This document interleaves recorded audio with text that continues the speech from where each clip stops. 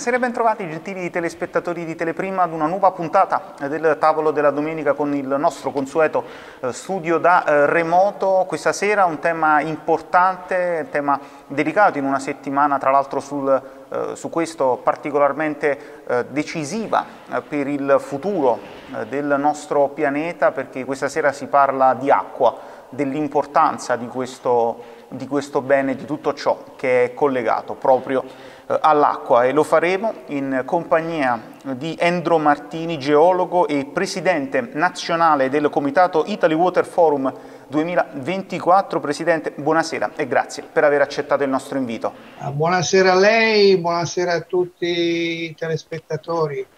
Grazie per l'invito. Grazie, grazie, a lei per aver accettato. Presidente, naturalmente sarà parte centrale eh, della nostra eh, chiacchierata la candidatura dell'Italia al forum numero 10 eh, proprio sull'acqua, ma anche giustamente per introdurla ai nostri telespettatori chi è e che lavoro svolge Endro Martini. Sì, dunque io sì, sono un geologo, sono nato, sono nato a Lucca, sono un toscano di origine ho studiato a Pisa, mi sono laureato a Pisa e, e poi nella mia vita da nomade, diciamo, ho lavorato eh, in Sud Italia, eh, Basilicata, Campania, mi sono occupato di frane, ma ero un giovane ragazzo. Poi per circa quattro anni sono stato in Nord Africa, in Algeria, ho lavorato a ricerche d'acqua e poi ho vinto un concorso, sono entrato in Regione Umbria nel 1977 dove ho compiuto eh, gli anni sufficienti di servizio per andare in pensione. In questo momento certo. sono un giovane pensionato e, e, e, mi occupo di ambiente, di acqua, di alluvioni, frane e terremoti come responsabile del centro studi alta scuola è un'associazione tra la regione Umbria, il comune di Orvieto e il comune di Todi che ha sede a Orvieto. Presidente, proprio su questo discorso partirei dall'acqua, cioè sembra una cosa quasi scontata, ovvia, ma eh, posso chiederle eh, come nasce eh, questa passione per un bene così prezioso? Ma io sono nato, come le ho detto, a Lucca in una casa di campagna, quelle, quelle ecologiche che oggi andiamo cercando. Ma la mia barba bianca documenta che non, non sono giovane come giovane lei. E, e, avevamo vicino un fiume, un fiume che si chiama Serchio. E il lunedì dell'angelo, eh, la Pasquetta, andavamo, la nonna ci portava sempre a fare il bagno quando era possibile o a fare la merenda sul fiume. Quindi l'acqua è, mi ha accompagnato sono poi stato angelo del fango nell'alluvione di Firenze nel 1966, ero studente a Pisa, avevo 18 anni e andammo con altri amici a Firenze a vedere quello che era stata quell'immane tragedia. In Algeria mi sono occupato di, di progetti di ricerca d'acqua e poi in Regione Umbria anche, diciamo, avendo diretto degli uffici, tra cui la difesa del suolo, eh, le valutazioni ambientali, insomma, beh, beh, insomma, io con l'acqua ho un amore particolare, ma tutti noi abbiamo amore per l'acqua. Water is life, no? l'acqua è la vita per tutti, è un bene essenziale, quindi o al rubinetto la mattina quando ci laviamo i denti o in altre occasioni l'acqua ci accompagna in tutti i giorni della nostra vita. Questo è sicuramente importante, ma l'acqua funge anche da fil rouge eh, per, insomma, per, questo periodo, eh, proprio perché eh, lei è a capo del comitato promotore per fare in modo che l'Italia possa ospitare il decimo forum mondiale sull'acqua. Tra l'altro c'è da dire che il nostro paese fa, fa già parte della short list delle nazioni finaliste. È così, dunque noi abbiamo fatto eh, era il primo di aprile del 2019, un incontro a, a Roma, al Senato della Repubblica, alla sala Koch, eh, organizzato con eh, il presidente della commissione eh, lavori pubblici e comunicazione del Senato, eh, l'onorevole senatore eh, Mauro Coltorti, che è un geologo peraltro, è un geologo come me. E con lui organizzammo questa giornata chiamata gli Stati Generali delle Risorse Idriche. Ecco, da quella giornata eh, venimmo a sapere, perché eh, in quel giorno era con noi l'attuale direttrice del World Water Assessment Program dell'UNESCO, Michela Miletto, che ci raccontò eh, il rapporto mondiale di quell'anno che era nessuno deve rimanere indietro, no? cioè l'acqua per tutti, il rapporto mondiale. E venimmo a sapere di questa call internazionale eh, eh in cui il Council di Marsiglia eh, chiedeva a, a, città e quindi a paesi di, di fare una manifestazione di interesse. Noi facemmo la manifestazione di interesse insieme alla città di Assisi, al Sacro Convento di Assisi e alla città di Firenze. E magari provi lei a immaginare perché, dopo io glielo racconto. Esatto, questo è stato l'inizio del percorso. Ci può dire adesso quali sono i passi successivi? Ecco, i passi sono questi. Allora, noi abbiamo messo insieme, eh, come dire, eh, l'immagine di Francesco di Assisi quando scrive il, nel Cantico delle creature eh, Laudate simi Signore, no? per sora acqua che tanto utile, te umile e preziosa casta. Accanto alla rinascita di Firenze dopo la terribile alluvione. E abbiamo anche tant'è che c'è un video, non so se siete riusciti a vederlo sul sito della nostra nuova compagine, diciamo così, sul sito web, si chiama Italy Water Forum e c'è proprio il video che abbiamo costruito e in cui di nuovo c'è il messaggio, no? Eh, Francesco, vai, vedi che la mia casa è in rovina, riparala. Allora abbiamo messo un pochino insieme questi aspetti più spirituali accanto agli aspetti più laici, non, non, voglio usare parole sacro e profano perché è brutto, ma rende un po' più l'idea del ragionamento. E abbiamo costruito un progetto di eh, candidatura, un progetto di candidatura che non vuole eh, lasciare nessuno indietro, cioè un progetto inclusivo, un progetto ad esempio in cui noi abbiamo messo le donne al pari degli uomini, cioè non ci saranno, se andiamo in porto con questo progetto, dei tavoli chiamati le donne per l'acqua. Noi stiamo cercando uomini e donne soprattutto di competenza, perché la competenza non ha sesso, no? la competenza se c'è c'è, se non c'è non c'è. E la competenza può avere, anzi la competenza non ha età, la competenza non ha età.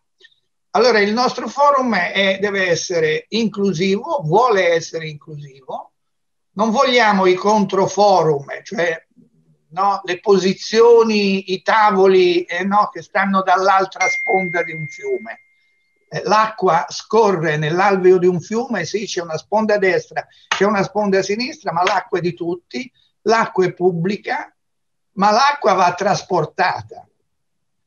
Io faccio sempre questo esempio che si rifà a un mio ricordo di quando ero bambino.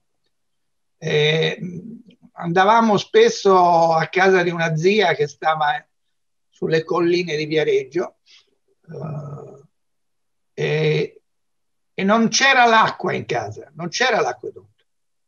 C'erano delle grandi secchie di rame e le donne andavano a piedi con in testa la secchia a prendere l'acqua alla fontana. E gli uomini stavano lungo la strada per vedere passare queste ragazze, queste fanciulle, e quindi l'acqua veniva presa gratuitamente, non costava andare a prendere l'acqua alla sorgente. Oggi non è più così, non si va alla sorgente. C'è qualcuno che scava un pozzo, c'è qualcuno che fa un'opera di presa, ci sono dei tubi che portano l'acqua in città o alle case, ma poi l'acqua lavorata in casa o in un'azienda viene scaricata a, nei fiumi, ma prima va trattata, se no i nostri fiumi si rovinano. E allora eh, anche di questo intendiamo discutere in questo forum. Grande, gigantesco problema delle perdite che abbiamo e dell'acqua che sprechiamo nel, nel lungo il trasporto. Ma vogliamo parlare dei cambiamenti climatici, ma vogliamo parlare delle piene, delle alluvioni, ma anche della siccità. Eh, quindi, insomma, eh, sul nostro sito ci sono alcuni opuscoli che potete scaricare, chi vuole e può leggere. Ce ne sono due in inglese e ce n'è uno un po' in inglese e un po' in italiano che cerca un po' di far capire meglio qual è il progetto di candidatura. Presidente, lei eh, giustamente ha parlato di un progetto particolarmente interessante e complesso e ascoltando quelle che sono le sue parole e il suo curriculum che ha illustrato all'inizio di questa nostra intervista si percepisce che lei è una persona molto interessata e soprattutto entusiasta in questo eh, progetto. Tra l'altro ha parlato anche di competenze e proprio su questo parlando di persone che sono interessate al, all'Italy Water Forum 2024 le chiedo come si fa a trovare queste persone con quello specifico livello di competenze che lei richiede? Dunque, eh, eh, le competenze si, si, si, acquisiscono strada facendo, eh? nessuno nasce imparato, voglio dire, nel senso che forse sì, i geni ci sono stati, tipo Leonardo da Vinci o Einstein, ma io non sono nato imparato, quindi sono andato a scuola di, di, di persone più, più, anziane di me e nella mia carriera in Regione Umbria, dove ci sono stato per 33 anni, ho, ho una rete di, di, conoscenze che conservo, diciamo, no? Ragazzi che erano miei funzionari oggi sono dei dirigenti, persone che ho incontrato nei ministeri sono oggi magari dei personaggi importanti vai in congressi e, e, conosci e quindi c'è una rete di conoscenze che tu metti in moto rispetto però a un, a un progetto concreto, cioè non si fanno i progetti mettendo insieme cinque teste e si inventa qualcosa, è più facile avere un oggetto interessante e vedere che c'è chi si avvicina. Non a caso noi abbiamo su questa candidatura il Ministero degli Esteri, eh, eh, ministro Di Maio, non lui direttamente, ma i suoi viceministri, Marina Sereni e l'altro ministro che è proprio ministro, chiedo scusa, non sono grande, molto pratico nelle questioni politiche, diciamo, da tecnico, però è come dire, eh, è venuto a, a, Palazzo Chigi e ha eh, il sottosegretario di Stato a come dire, eh, sponsorizzare ancora una volta questa candidatura. Ma questa candidatura è stata vista e sponsorizzata perché sono stati letti i documenti dal Dipartimento della Protezione Civile, ugualmente dall'ISPRA, che è l'Istituto di ricerca sulle acque de, de, de, del Ministero dell'Ambiente, ma da tantissimi eh, soggetti che si sono avvicinati capendo due cose. Allora, da una parte, anche perché questo nostro progetto l'abbiamo scritto nel 2020, cioè la candidatura l'abbiamo presentata nel 2019, avevamo scritto chiusi in casa come siamo ora ancora, quindi all'interno delle nostre menti e dei nostri studi in periodo pandemico e abbiamo scritto proprio nel titolo del progetto Facing a Global Change, cioè eh, di fronte a un cambiamento, siamo di fronte a un cambiamento globale. E ispirandoci a Francesco di Assisi e a Leonardo da Vinci, al Rinascimento fiorentino, dopo il buio medioevo, abbiamo scritto due parole, water rinascimento, un rinascimento dell'acqua. Cioè l'ambizione sarebbe di scrivere eh, una carta come è stata scritta per esempio la carta del paesaggio a Firenze, una carta del, paes- del paesaggio, no, una carta sull'acqua all'interno della quale vedere di comporre quelle composizioni, quei conflitti che ancora oggi esistono, anche quelle posizioni, se vogliamo, ideologiche che a volte restano tali e sono irrigidite perché non ci si mette seduti intorno a un tavolo a discutere con un minimo, un minimo di serenità, capendo bene di che cosa stiamo parlando. Stiamo parlando della vita sulla Terra. Noi mandiamo le navi spaziali, voglio dire, su Marte a cercare l'acqua eh, per capire se c'è stata o se ci potrebbe ancora essere vita. Allora, eh, io sono, come dire,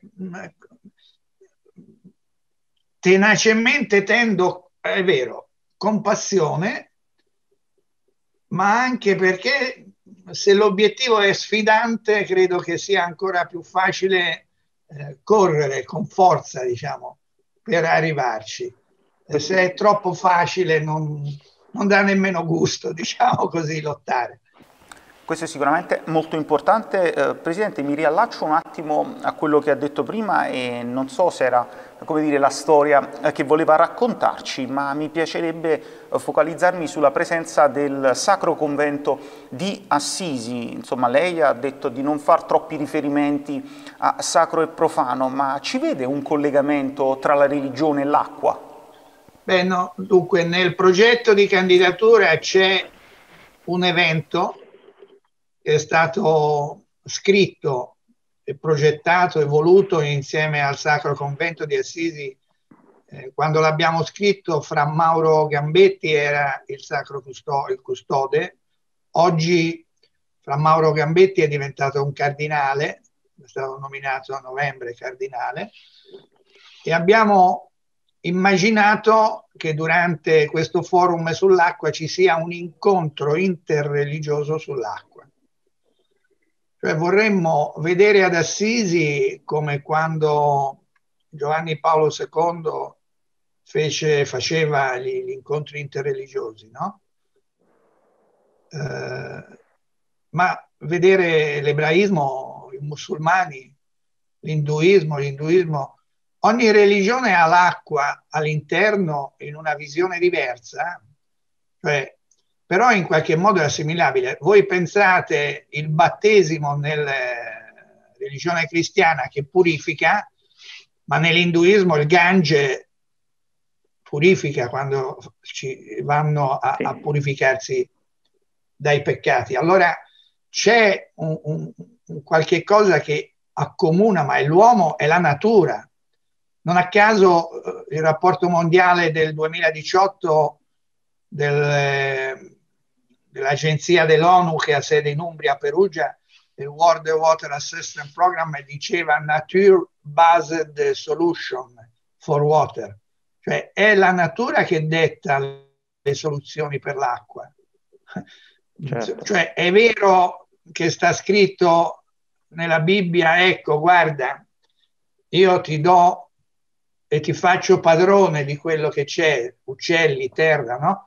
Come è scritto nella Bibbia, ma è anche vero che in questo momento forse la natura si sta un po' ribellando rispetto, come dire, a come noi l'abbiamo trattata, se così possiamo dire. È bellissima una, una poesia di Giacomo Leopardi, eh, c'è il dialogo tra un islandese e la natura. Vedi, vedi questi dialoghi eh, di questi grandi uomini, ma anche gli scienziati come Einstein. Cioè voi pensate che Einstein scrive una frase straordinaria, dice mm, mm, non avrai bene capito quello di cui stai parlando se non sei stato in grado di farlo capire a tua nonna. L'altra frase di Einstein è eh, noi non possiamo cambiare il mondo con lo stesso modo di pensare con cui l'abbiamo creato. Ecco che noi diciamo cambiamento globale. Allora Giacomo Leopardi dice che, mm, ora non la ricordo proprio, ma la frase bella è che a un certo punto dice mi sono trovato a dover fuggire di gran lena dall'acqua che veniva da un fiume quasi come se io avessi fatto delle ingiurie a questo fiume. Ma quale cosa più attuale di questa parola? Noi abbiamo commesso delle ingiurie verso i fiumi, che abbiamo costruito nelle zone di espansione naturale, li siamo andati dentro i fiumi a costruire. E oggi cosa volete che faccia un fiume quando piove nella maniera in cui oggi piove, che, cioè nell'arco di un anno mediamente la quantità di pioggia più o meno è quella, ma piove diversamente, in modo concentrato, no? le famose alluvioni lampo che sono avute anche recentemente eh, nella zona di Crotone o in Sardegna. O... E allora noi, noi dobbiamo capire meglio quest'acqua, se così posso dire. Io credo che forse abbiamo proprio bisogno di una grande riflessione e da questo punto di vista io credo che le religioni che hanno poi, al di là se siamo con Allah o con Dio o con le religioni induiste, o, hanno una grande, grandissima influenza dal punto di vista sociale e, e, quindi se riuscissimo ad avere in Italia questo forum e a organizzare in Assisi un incontro di questo genere da cui questi padri di, questa religione che in quel momento ci saranno, certo sarebbe bellissimo avere ancora eh, Papa Francesco in un'occasione ecco. di questo genere, sarebbe straordinaria come cosa, eh, che ci scrivano, ci dicano qualche cosa come ad esempio, e questo lo dico, beh, insomma, oggi noi ci siamo convinti della necessità di un ministero per la transizione ecologica, no? Ma se non ci fosse stata la laudate sì di Francesco d'Assisi, ci sarebbe stato questo cambiamento, questo messaggio. Ma l'uomo che non riflette no? che non si mette a sedere e guarda la natura, guarda il suo fiume, guarda i propri alberi, le proprie montagne, il suo ambiente, non si mette a riflettere, mm, ci saremmo arrivati a questo momento di transizione?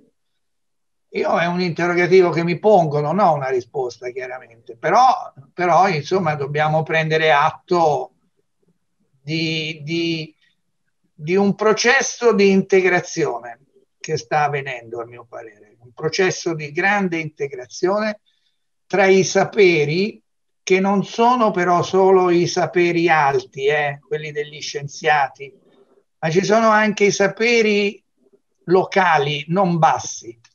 Io quando vado in giro nei progetti di quelli che si chiamano oggi contratti di fiume, i contratti di fiume sono strumenti in cui si tende a mettere insieme una serie di soggetti interessati intorno a un'asta fluviale. Io per sapere la qualità dell'acqua di quel fiume mi baso sì sulle analisi chimiche che mi fa l'Agenzia per l'Ambiente, ma poi cerco i pescatori che mettano i piedi nei fiumi e gli chiedo ma com'è sto fiume? Come si comporta questo fiume secondo te? Perché oggi, questo è il paradosso, a me capita spesso di svegliarmi la mattina, di prendere il telefono, eh, di cliccare su scritto meteo e di vedere se fuori piove o non piove. Non so se a, a voi è mai capitato. Certo. Ma io sono in camera, ho una finestra, perché non apri la finestra, entro? Per guardare il tempo che fa. Cioè noi non guardiamo più la realtà, credo, ci stiamo un po' allontanando con queste tecnologie dalla realtà e dobbiamo rimettere un po' i piedi sulla terra e anche a bagno nell'acqua, ma non fin qua, eh. basta ai ginocchi, non, non oltre. Prima di proseguire questa nostra chiacchierata sull'acqua e sulla candidatura eh, dell'Italia ad ospitare il Forum Mondiale del 2024 ci prendiamo una piccola pausa, break pubblicitario, torneremo subito da voi. Teleprima, canale 91 del digitale terrestre in streaming su www.teleprima.it ti tiene compagnia 7 giorni su 7, 24 ore su 24 a partire dalla rassegna stampa della mattina, il prima TG Flash delle 11 e delle 18 e il prima TG alle 13.30 e alle 21. Ma non solo, pillole di cucina, motori e migliori film italiani e stranieri. Dalle 21.30 dal lunedì alla domenica in esclusiva la nostra prima serata con i programmi di sanità, politica, cultura, istituzioni, musica, intrattenimento e calcio. Per contatti chiama allo 0823 42 17 17 o scrivi a redazione dg chiocciolateleprima.it. Una lente di ingrandimento sull'Italia e sulla Campania. Un occhio attento su tutto ciò che avviene in città. Benvenuti su Notice quotidiano online di informazione nazionale e regionale. Focus sulla cronaca, politica, attualità, cultura, spettacoli e sport. H24. Ci puoi trovare su www.notix.it e sulle nostre pagine social con i canali dedicati su Facebook, Instagram e YouTube. Tutta l'informazione nazionale e regionale solo su notix.it.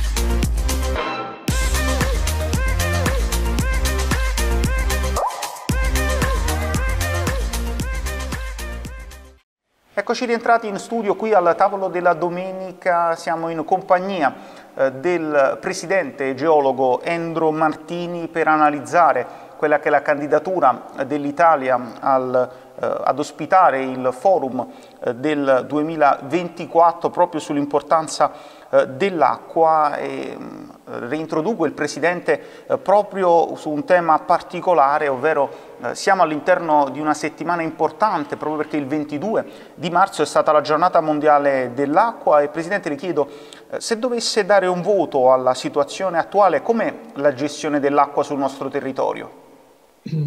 E dunque eh, gli dobbiamo dare un 6 più, un 6 e mezzo nel senso che non ci siamo ancora. Ed è un peccato perché noi siamo un paese che potrebbe fare moltissimo di più.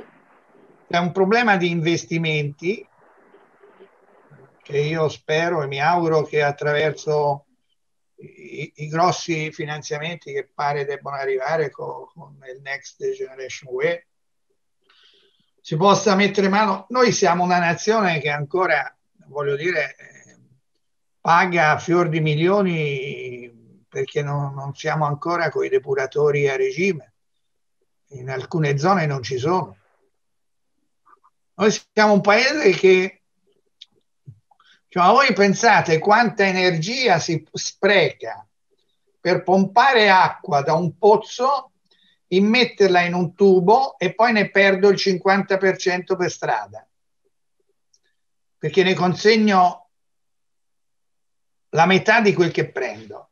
Ma noi parliamo di recupero di energia, ma il primo recupero di energia si deve fare mettendo a posto i tubi che perdano affinché si pompi quello che basta da trasportare e quindi c'è un risparmio energetico, cioè non è sempre aggiungendo più energia perché ci manca, ma se io spreco l'energia, spreco l'economia. Quindi bisogna, ecco il cambiamento globale. Noi siamo convinti che l'Italia eh, ha tutte le carte in regola, tutte le carte in regola per poter aggiudicarsi eh, questa, questa candidatura. Mm, torno sulla domanda. La gestione delle risorse idriche è sei e mezzo. Mm, c'è da fare tanto. Se parliamo poi della gestione delle alluvioni, quindi de, delle piene, eh, anche lì eh,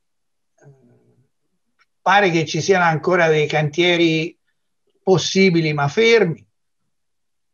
ci sono risorse, cioè noi, noi, noi c'è uno, un documento che è stato scritto in Giappone nel 2015, la carta di Sendai, il quale dice che non bisogna più approcciarsi ai disastri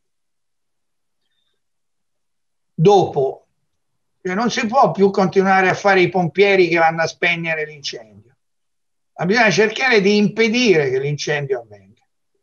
Certo. E infatti la carta di Sendai dice prevenzione, la parola prevenire, che vuol dire fare qualcosa prima, fare qualcosa prima. Ecco, noi abbiamo ancora tanto da fare. Io ricordo i periodi eh, che ho vissuto perché abbiamo anche collaborato in tre seminari del progetto Italia Sicura e di quindi di questo approccio, come dire, nazionale sulla per affrontare eh, la mitigazione dei rischi da alluvioni. E città come Firenze, come Genova, ma pensiamo a Venezia anche che finalmente sembra che il, il, grande criticato Mose in alcune occasioni stia cominciando a evitare l'acqua alta.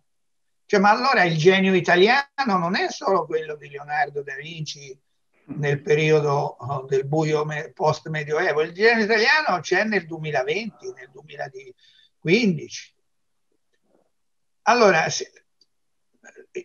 insomma, io personalmente sarà perché siamo tutti un po' tifosi, ma siamo, io sono come te, eh, siamo orgogliosi di essere italiani, no? Assolutamente. Secondo, siamo anche quelli che hanno scoperto l'America, eh? insomma, non ci scordiamo, non, ricordiamolo sempre che l'America fu, c'è oggi, è stata scoperta eh, grazie a un certo Cristoforo Colombo, ma siamo anche quelli che hanno aperto la, la strada verso la Cina, Marco Polo, Venezia, eh? o colui che ha fatto la, il capo di Buona Speranza, Americo Vespucci, non parliamo poi di Dante Alighieri, non parliamo, io sono nato a Lucca, Puccini, la musica, sì. oggi, la musica di Puccini. Ma se noi mettiamo insieme un, un po' di questi personaggi, ma, ma dove, dove, trovano nel mondo un insieme di figure? Non parliamo dei pittori, no? No, parliamo dei pittori, Giotto, Raffaello, eh, Michelangelo, eh, beh, qui ci stiamo un'ora a fare l'elenco. Allora, questo paese ha nel, cioè eh, quello che Jung, eh, il, lo psicologo Jung chiama l'archetipo, l'archetipo collettivo. Cioè noi abbiamo nel nostro DNA dei, dei pezzetti di questi nostri abiti, perché eh, le generazioni, no? i genitori eh, trasmettono ai figli, i quali trasmettono, quindi, però l'archetipo, coll- archetipo collettivo rimane ed è il messaggio originale dell'uomo, dell'uomo italiano, della donna italiana.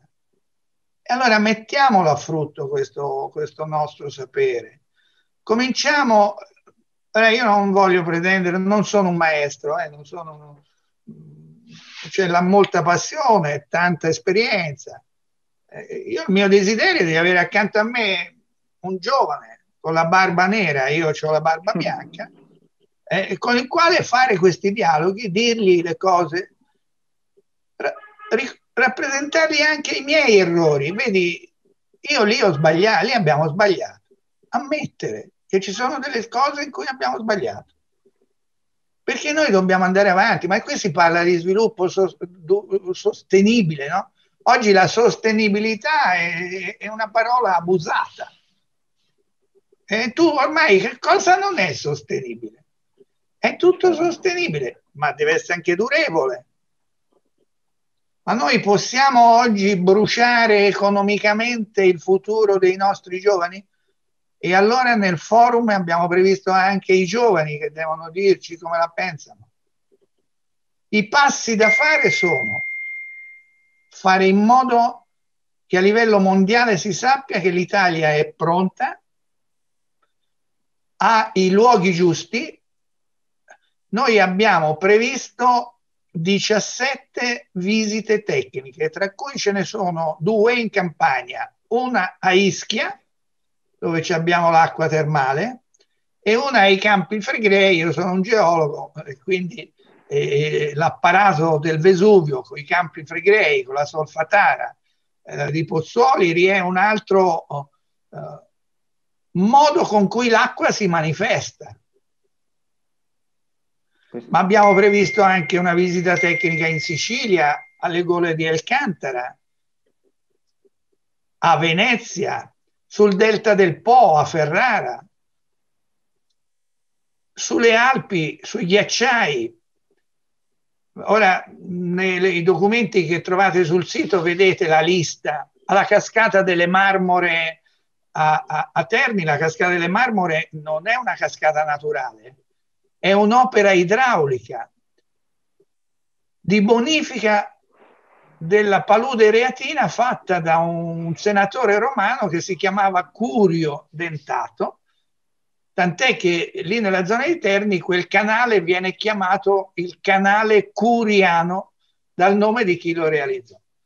Allora noi abbiamo la, la famosa grande bellezza del film eh, premiato, sì. è l'Italia in tutte le sue sfaccettature, è l'Italia nei suoi borghi piccoli appollaiati in cima a una collina, lontani dalle grandi città, ma dove c'è una vita uguale o forse addirittura migliore di quella che, che si vive nella grande città. Allora io sono mh, entusiasta di questo progetto, sono contentissimo che il 22 di, di marzo, quindi pochi giorni fa, in occasione della giornata mondiale dell'acqua ci sia stato un concerto di, di, di sostenitori, ripeto, il Ministero degli Esteri, eh, la Protezione Civile, l'ISPRA, ma anche altri personaggi di, di calibro. E il mio augurio è che il 22 di marzo del 2024 in Italia ci sia l'evento, perché questi eventi, queste uh, World Water Forum, vengono sempre fatti a cavallo della giornata mondiale dell'acqua. L'ultimo fatto a Brasilia nel 2018 è durato cinque giorni. E nel giorno della giornata mondiale dell'acqua, l'Agenzia dell'ONU delle Nazioni Unite eh, racconta il rapporto mondiale. Quest'anno hanno raccontato il rapporto mondiale 2021 che si intitola Water Value, il valore dell'acqua, nelle sue sfaccettature. Ecco, auguriamoci che il rapporto mondiale del 2024, eh, redatto a Perugia dall'Agenzia delle Nazioni Unite, venga raccontato in Umbria o a Firenze, ancora questo sarà da decidere, eh, come rapporto mondiale del 2024. Sarà un'occasione per il paese enorme perché eh, dunque in Brasile ci sono andati 110.000 mm, presenze, cioè c'è stato un ingresso di 110.000 persone nei cinque giorni della cosa. Quindi significa alberghi, trasporti, voli, sono stati impegnati circa 100.000 metri quadrati di spazi espositivi, quindi dove eh, va a esporre la società che, che fa i depuratori o quella che fa i tubi, la tubighisa, ma vengano dalla Cina, sono venuti dalla Francia, sono venuti dal mondo intero. Si fanno convegni in parallelo a tema, per cui tu hai 3, 4, 5, 8, fino a 10 convegni nella stessa giornata in teatri diversi, in zone diverse. E le svelo anche un segreto che mi sento di dire, visto come dire, quell'empatia che si sta instaurando, anche se io in questo momento sono nelle Marche Con questo messaggio, Presidente, abbiamo fatto davvero una carrellata di personalità italiane di primo ordine e con l'augurio che questo forum possa davvero eh, essere italiano, insomma stiamo parlando di un paese con eh, tanta cultura e tanto interesse anche eh, in persone come lei, dunque l'auspicio prima di tutto da parte sua ma anche da parte mia è che questo forum possa essere davvero tutto Anzi, italiano. Perdonami, se noi vinceremo questa sfida e ci aggiudicheremo questa sfida non è per i petrodollari, non sarà per le ricchezze di, di chi ha eh, lo yen o il dollaro o qualche cos'altro, vinciamo per la cultura, vinciamo per la cultura italiana. E nella cultura dell'acqua credo che a cominciare dai romani che hanno fatto gli acquedotti, a quello che in campagna è stato fatto da, da, nel periodo del Regno d'Italia, da, da, chi in quel periodo doveva gestire quel territorio, a, a, a, quello che recentemente siamo riusciti a fare. Cioè non ci dobbiamo perdere, dobbiamo fare gruppo, fare squadra perché è, è un campionato mondiale cioè qui o perdiamo o vinciamo. E se vince vince l'Italia, non vince nessun altro perché ci sarà spazio per tutti perché in parallelo al forum ufficiale ci possono essere dei mini forum che si possono fare non so dove, dove dire, a Castellammare di Stabia, mi viene in mente quel nome perché ci sono stato alcune volte, insomma ho frequentato la campagna per motivi anche di, vacanza, diciamoci la verità, non solo per lavoro. Certo. Bei posti veramente. Presidente, grazie perché sicuramente tutte le regioni d'Italia sono, sono, belle, sono particolari a modo loro, ma da cittadino campano fa sempre eh, piacere ricevere dei ringraziamenti per la regione in cui ci troviamo. Bene, io non so cosa altro possiamo aggiungere se non una sorta di, di stretta di mano tra la campagna e dove sono io ora nel senso di continuare questi percorsi di, di la, che lanciano, rilanciano e ricordano. Noi ora siamo in una fase un po' delicata perché, perché la pandemia è in corso. Il processo di aggiudicazione è fermo perché non, non possano prendere decisioni, devono valutare il nostro progetto devono venire in visita ad Assisi e a Firenze, ma la, la commissione che è composta da un americano, un brasiliano e, e un eh, scusatemi, eh, Prego, da un americano e un eh, coreano. No, dunque allora la telefonata come al solito. Distrae. Allora, eh, una, un eh, americano, un brasiliano e un coreano dovrebbero venire a fare una valutazione soprattutto de, dell'idoneità dei luoghi, dell'idoneità dei luoghi e quindi questa visita non può essere fatta perché col Covid insomma né l'Italia è in grado di accogliere né sono in grado di muoversi. Forse ci auguriamo che le cose migliorino tra agosto e settembre questa cosa ci sarà e quindi forse pensiamo che entro l'anno si debba sapere. Questo perché? Perché nel 2022 a Dakar, a marzo, ci sarà il nono forum mondiale sull'acqua. E loro hanno dire, istituito una sorta di staffetta tra un forum e l'altro e nella giornata mondiale dell'acqua eh, il sindaco della città di Dakar eh, consegnerà le chiavi del forum a chi lo farà tre anni dopo.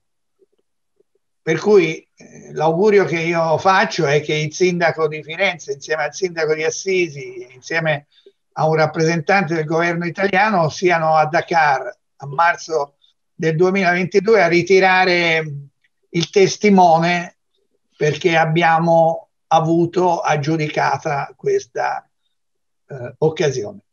certo. rimane, un fatto, rimane un fatto che intorno a questa possibilità si stanno muovendo centri universitari, il Consiglio nazionale dei geologi, non li cito tutti perché sennò me ne scordo, ho detto i geologi perché da geologo insomma certo. un po' partigiano la mia professione.